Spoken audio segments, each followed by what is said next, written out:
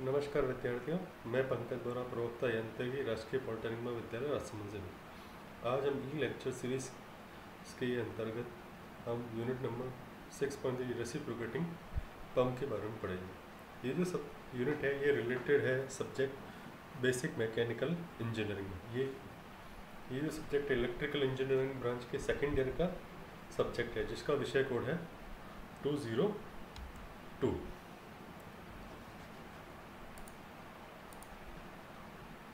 reciprocating pump या प्रत्यागमी pump किसे कहते हैं? रेसिप्रोकेटिंग पंप या प्रत्यागमन एक प्रकार की धनात्मक विस्थापन पंप है, जिसमें पिस्टन पंप प्लंजर पंप और डायफ्राम पंप आदि शामिल होते हैं। इसका उपयोग जनरल वहाँ होता है, जहाँ अपेक्षाकृत कम मात्रा में द्रव को पंप करना हो, तथा कार्यकारी दाब प्रेशर डिलीवरी प्रेशर बहुत अधिक हो। प्रत्यागमी पंपों के जिस चैम्बर में द्रव को रुक कर रखा जाता है, वह अचल सिलेंडर के रूप में होता है, जिसमें प्लिस्टन या पंजर स्थित होता है। ये देखिए जो, ये जो डायग्राम आप देख रहे हैं, ये एक रेसिप्रोकेटिंग पंप का उदाहरण है। इसमें ये पिस्टन है, ये सिलेंडर है, इसके अंदर पिस्टन होता है, ये पिस्टन रॉड होता है।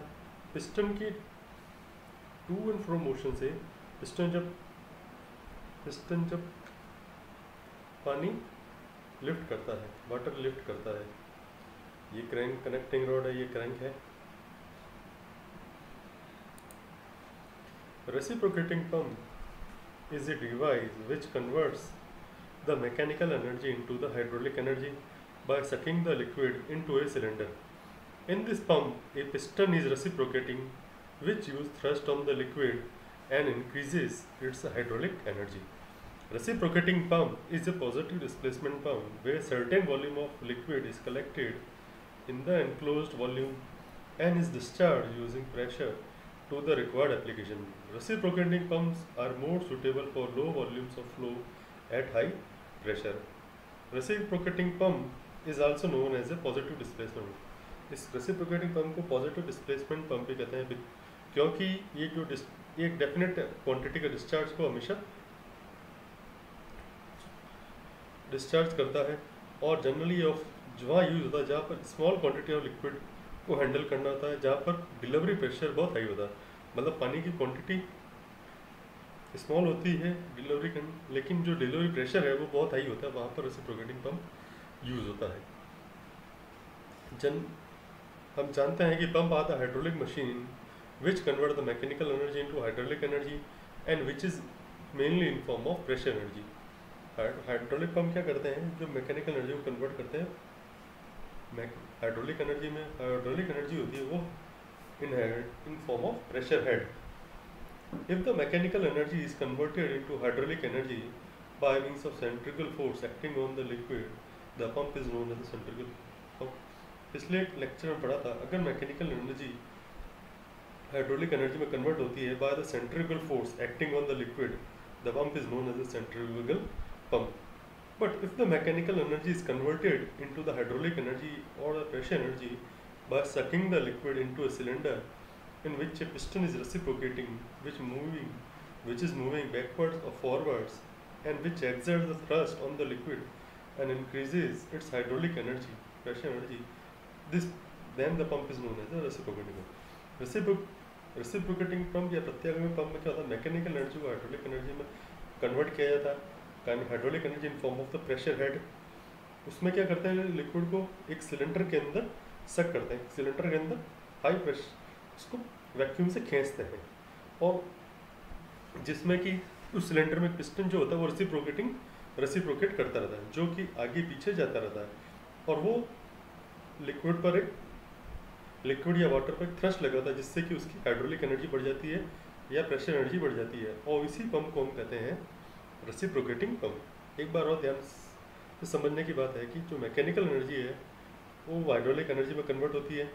By sucking the liquid into a cylinder एक सिलेंडर के अंदर लिक्विड को सक करते हैं, जिसमें कि एक पिस्टन रेसिप्रोकेट करता है टू एंड फ्रो मूव करता है, जो कि लिक्विड पर थ्रस्ट बढ़ाता है फोर्स लगाता है थ्रस्ट बढ़ाता है, जिससे कि लिक्विड की हाइड्रोलिक एनर्जी बढ़ जाती है प्रेशर एनर्जी बढ़ जाती है, और इसी पंप को हम कहते हैं रेसिप्रोकेटिंग पंप रेसिप्रोकेटिंग पंप को हम पॉजिटिव डिस्प्लेसमेंट पंप भी कहते हैं, क्योंकि ये लिक्विड को सक करता है और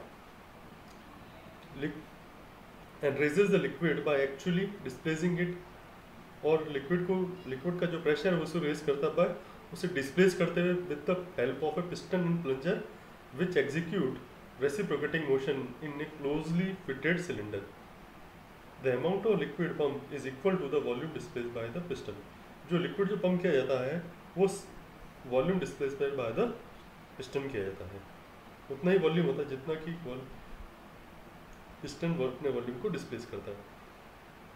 The pumps are design with discs piston create up to 25 bar and the plunger pump built up still higher pressure discharge from this pump is almost wholly dependent on the pump speed और जो total efficiency of centrifugal reciprocating pump होती है, वो about 10 to 20 percent higher than a comparable centrifugal pump एक equal capacity का जो centrifugal pump है उससे हमेशा रेसिप्रोकेटिंग पंप की कैपेसिटी कम होती है reciprocating pumps for industrial use have almost obsolete due to their high capital cost as well as the maintenance cost as compared to that of the centrifugal pump reciprocating pump जो है वो industrial application में आजकल use नहीं होता क्योंकि इनकी जो इनिशियल कॉस्ट होती है initial settle initial cost cost होती है कैपिटल को वो बहुत ही हाई होती है और इनकी मेंटेनेंस कॉस्ट भी बहुत हाई होती है as compare to the centrifugal pump but the small handed but the small hand operated pump such as cycle pump, football pump, kerosene pump, village well pump, hand to जिसमें हैं hand pump and pump use as an important part of hydraulic jacket वहाँ पर ये use होते हैं. Still find the wild application the reciprocating pump is best suited for relatively small capacities and high heads generally वहाँ suited होता है जहाँ पर वाटर की क्वांटिटी स्मॉल होती है डिस्चार्ज कम होता है और हेड जो होता है वाटर हेड वो बहुत हाई होता है. This type of pump is very common in oil drilling operation generally वहाँ होता है जहाँ पर ऑयल को ड्रिल करना होता है. The reciprocating pump is generally employed for light oil pumping feeding small boilers condensate return and the pneumatic pressure system अब रेसिप्रोकेटिंग पंप का क्लासिफिकेशन रेसिप्रोकेटिंग पहला क्लासिफिकेशन है according to the water being in contact with piston पहला single acting single acting होता है कि water is in contact with one side of piston single acting होता है वाटर जो होता है पिस्टन के, एक ही साइड में कॉन्टैक्ट में होता है डबल एक्टिंग में होता है जहाँ पर water water is in contact with both side of piston water जो होता है पिस्टन के दोनों साइड की ओर होता है। यह देखिए, ये इनलेट पाइप है। जब पिस्टन ओवर फ्लो मोशन करेगा, तब ये इनलेट वॉल ओपन होगा और वाटर जो होगा यहाँ से आएगा।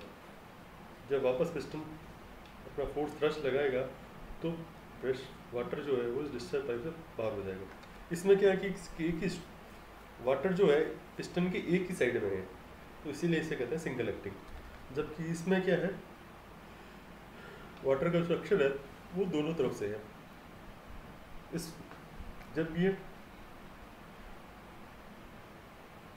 राइट टू लेफ़्ट मूव करेगा, तब ये डिस्प्लेस करेगा इस साइड ऑफ़ वाटर को। और जब ये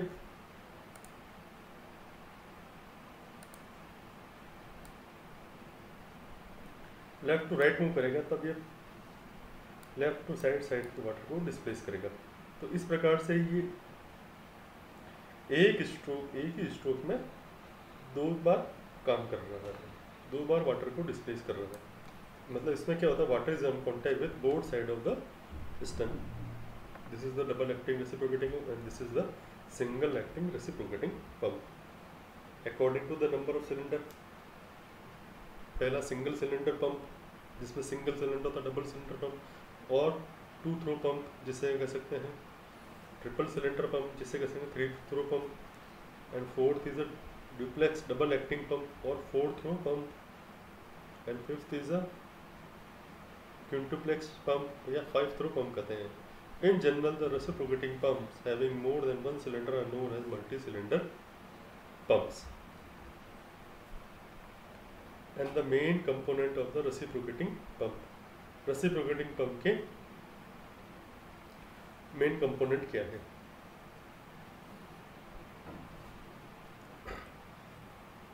the main parts of the reciprocating pump are cylinder cylinder piston suction valve delivery valve suction pipe, delivery pipe, crank and connecting rod mechanism. This is the crank and connecting rod mechanism which is operated by power source. ये operated by power source होता है steam जो कि generally steam engine हो सकता है internal combustion का या एक इलेक्ट्रिक मोटर हो सकती है As shown in figure, a single acting reciprocating pump has one suction pipe and one delivery pipe. It is usually placed above the liquid level in the sump. ये generally liquid level जो होता है sump उससे generally ऊपर इसको रखा जाता है प्लेस किया जाता है वेन द क्रैंक रोटेट्स जब क्रैंक रोटेट करती है the piston moves backwards and forwards inside the cylinder तो पिस्टन क्या होता है?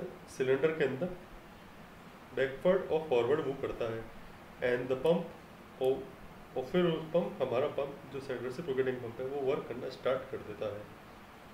रेसिप्रोकेटिंग पंप को हम कहते हैं एकल अभिनय विनिमय पंप भी कहते हैं। सपोज़ हम मानते हैं कि the initial initially the crank is at inner dead centre ये देखिए इनिशियली जो है वो हमारी क्रैंक जो है इनर डेड सेंटर पर है। ये रहा inner dead centre and rotates in clockward direction ये क्लॉकवर्ड डायरेक्शन में रोटेट कर रही है। एज द क्रैंक रोटेट जैसे ही क्रैंक रोटेट्स कर रही है the piston moves towards right piston जो होता है वो राइट राइट एक्शन मूव करता है। And a vacuum is created on the left side of the piston जैसे ही पिस्टन राइट साइड मूव करेगा तो एक वैक्यूम क्रिएट हो जाएगा पिस्टन के लेफ़्ट साइड में। मतलब इस तरफ़ वैक्यूम क्रिएट हो जाएगा। This vacuum cause a suction wall to open ये वैक्यूम क्या करेगा? सक्शन वॉल को ओपन कर देगा। And consequently the liquid is force from the sump into the left side of piston तो सम से क्या होगा? जो लिक्विड जो होगा वैक्यूम की वजह से, वो पिस्टन के लेफ़्ट साइड ऑफ़ पिस्टन की लेफ़्ट साइड की ओर आ जाएगा। When the crank is on outer dead centre मतलब जब क्रैंक रोटेट कर वन एटी डिग्री रोटेट करके इस आउटर डेड सेंटर पर आ जाएगी the suction stroke is completed suction stroke हमारा कंप्लीट हो जाएगा। And the left side the cylinder is full of liquid जो सिलेंडर पानी जो होगा, उस पूरे सिलेंडर में आ जाएगा। ये पूरा जो वॉल्यूम सिलेंडर का वॉल्यूम है, उसका लिक्विड फिलअप हो जाएगा, पानी फिलअप हो जाएगा। When the crank further turn from outer dead centre to inner dead centre जब crank out outer dead centre inner dead centre पर 360 डिग्री रोटेट करके आएगी। The piston moves inwards to the left piston वापस अंदर की तरफ़ जाएगा left की तरफ़ and the high pressure is built up in the cylinder और हाई प्रेशर सिलेंडर के अंदर बिल्ट हो जाएगा। और जो डिलीवरी वॉल है, वो ओपन हो जाएगा। ये जो डिलीवरी वॉल ओपन आ जाएगा and the liquid is forced into the delivery pipe और जो लिक्विड होगा वो डिलीवरी पाइप के अंदर चला जाएगा। This liquid is carried to discharge tank this liquid is carried to the discharge tank through the delivery pipe this liquid is carried to the discharge tank through the delivery pipe delivery pipe पे चला जाएगा। At the end of the delivery stroke at the end of the delivery stroke जो delivery stroke में है the crank comes to the inner centre crank जो होगी outer date centre से inner dead centre पर आ जाएगी. And the piston is at extreme left position piston जो होगा, अपनी एक्सट्रीम लेफ़्ट पोजिशन पर आ जाएगा. अब आप एनिमेशन की तरफ़ से देख सकते हैं कि कैसे ये वर्क करता है.